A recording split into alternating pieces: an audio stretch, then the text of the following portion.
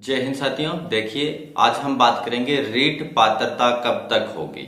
और जो नई भर्ती है 2023 की, यानी कि तृतीय श्रेणी शिक्षक भर्ती, क्या वो आ पाएगी या फिर कब तक आएगी? चलिए शुरू करते हैं। कितने पद रहेंगे? नोटिफिकेशन यानी कि विज्ञप्ति आपको कब तक देखने को मिलेगी? और इस पात्रता का एग्ज़ाम कब तक होगा? चलिए शुरू करते हैं आज की वीडियो। इसके अंदर देखिएगा, सबसे पहले मैं आपको बता दूँ, विज्ञप्ति आपको यहाँ पे जब चुनाव हो जाएँगे तो उसके बाद में चांसेस है कि दिसंबर के अंदर देखने को मिल जाए। अगर किसी कारण से सरकार यहाँ पे लेट करती है तो आपको लगभग अप्रैल तक, अधिकतम अप्रैल तक आपको ये रीट पात्रता की जो विज्ञप्ति है, वो देखने को मिल जाएगी। लेकिन चांसेस है कि दिसंबर के अंदर ही आपको पात्रता परीक्षा की जो विज्ञप्ति है, वो देखने को मिलेगी। अगर हम बात करें इसका जो एग्ज़ाम है वो कब तक होगा और जो नई भर्ती है तृतीय श्रेणी शिक्षक भर्ती, वो कब तक आएगी, कितने पदों पर आएगी? और साथ में ही पात्रता का जो सिलेबस है वो क्या रहने वाला है?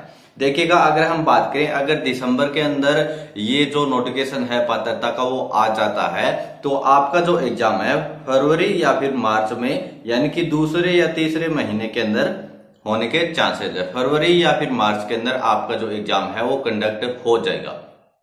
अगर किसी कारण से पात्रता का जो नोटिफिकेशन है वो लेट होता है, जैसे कि मार्च, अप्रैल तक आता है, तीसरे या चौथे महीने तक आता है तो ये जो आपका पात्रता का एग्ज़ाम है ये आपका एग्ज़ाम चला जाएगा जून, जुलाई तक। यानी कि छठे से सातवें महीने के अंदर आपका पात्रता का एग्ज़ाम होगा, किसी कारण से लेट होती है। क्योंकि यहाँ पे बोर्ड ने सारी तैयारियाँ पूर्ण कर रखी है पात्रता करवाने को लेकर, लेकिन सरकार की तरफ़ से अनुमति नहीं मिली है। लेकिन सरकार अगर नहीं बनती है तो जैसे ही अनुमति मिलती है बोर्ड को पात्रता करवाने की तो वो जल्दी से जल्दी आपका एग्ज़ाम करवाने की कोशिश करेंगे। तो चांसेस है कि दिसंबर के अंदर नोटिफिकेशन आपको देखने को मिल जाए। और मार्च फरवरी मार्च के अंदर आपका जो एग्ज़ाम है वो कंडक्ट हो जाए पात्रता का। अब देखिए, अगर हम बात करें, कितने पदों पर नई भर्ती आ सकती है 2000 जो 2024 हम कहेंगे अब 2024 में तृतीय श्रेणी शिक्षक भर्ती कितने हज़ार पदों पर आ सकती है? तो देखिए, आप यहाँ पर देख सकते हो कि लगभग ये जो भर्ती अभी कंप्लीट हो रही है, इसके बाद में बीस हज़ार पदों पर भर्ती प्रस्तावित थी जो फ़िलहाल जो सरकार है उसके द्वारा। लेकिन आचार संहिता लगने के कारण और जो पिछली भर्ती प्रक्रिया है, वो पूर्ण ना होने के कारण नई भर्ती यहाँ पे नहीं निकाली जा सकी। लगभग यहाँ पे बीस हज़ार पदों पर खाका तैयार करके छोड़ा गया था कि अब जो नई भर्ती है, वो बीस हज़ार पदों पर हम निकालेंगे। लेकिन अब सरकार अगर बदलती है या फिर जब नई सरकार बनती है तो वो यहाँ पे पदों के अंदर वृद्धि करेगी। लगभग, हम कहें, लगभग तीस हज़ार पदों पर आपको ये भर्ती अब देखने को मिलेगी। ठीक है? पच्चीस से तीस हज़ार पदों पर आपको भर्ती देखने को मिलेगी। अगर आपकी पात्रता फरवरी, मार्च के अंदर हो जाती है तो आपका ये एग्ज़ाम है, वो लगभग, अगर हम कहें लगभग अक्टूबर के अंदर आपका ये एग्ज़ाम हो जाएगा। यानी कि अक्टूबर के अंदर ये आपका एग्ज़ाम हो जाएगा और आपकी जो ये विज्ञप्ति है, मई के अंदर आपको जो ये विज्ञप्ति है, वो देखने को मिल सकती है। यानी तृतीय श्रेणी शिक्षक भर्ती की जो विज्ञप्ति है, वो मई के अंदर आपको देखने को मिल जाएगी। मई महीने में आपको विज्ञप्ति देखने को मिल जाएगी। और अगर हम बात करें एग्ज़ाम की तो एग्ज़ाम जो है वो तृतीय श्रेणी शिक्षक भर्ती का यहाँ पे आपको अक्टूबर के अंदर देखने को मिल जाएगा।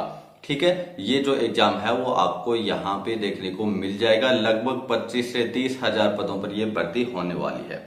अगर हम बात करें पात्रता और, पात्रता का जो सिलेबस है, वो क्या रहने वाला है?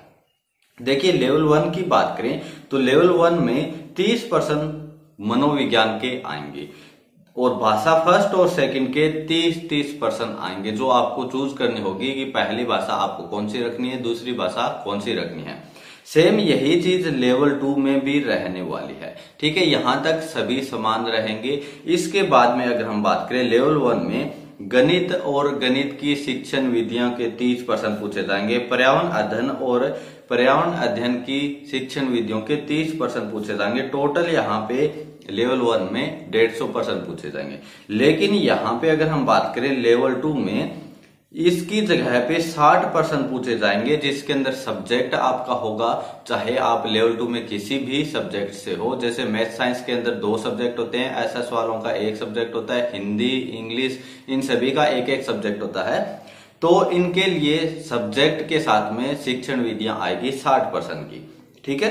तो यहाँ पे ये जो डाटा है, वो डेढ़ सौ परसेंट यहाँ पे पूछे जाएँगे, डेढ़ सौ नंबर के। नेगेटिव मार्किंग यहाँ पे नहीं होती है पात्रता के अंदर। यहाँ पे पासिंग मार्क्स जनरल कैटेगरी के के लिए 60 परसेंट यानी डेढ़ सौ में से 90 परसेंट लेकर आने ज़रूरी है। बाकी कैटेगरी वाइज छूट होती है।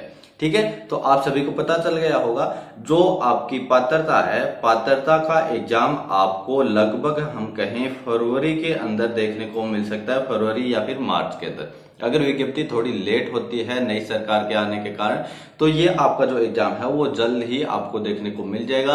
और जैसे ही पात्रता होती है, पात्रता होने के जस्ट एक से डेढ़ महीने के अंदर आपको जो नई तृतीय श्रेणी शिक्षक भर्ती है, उसका नोटिफिकेशन भी देखने को मिल जाएगा। और जहाँ तक चांसेस है, आपका जो एग्ज़ाम है तृतीय श्रेणी शिक्षक भर्ती का, वो अक्टूबर महीने से भी पहले हो सकता है। ठीक है? तो इसी तरह की लेटेस्ट अपडेट के लिए हमारे साथ में जुड़े रहें और आपकी कोई भी राय या कोई भी सवाल है, कोई भी डाउट है, वो हमें कमेंट बॉक्स में कमेंट करके ज़रूर बताइएगा। धन्यवाद, जय हिंद, जय भारत।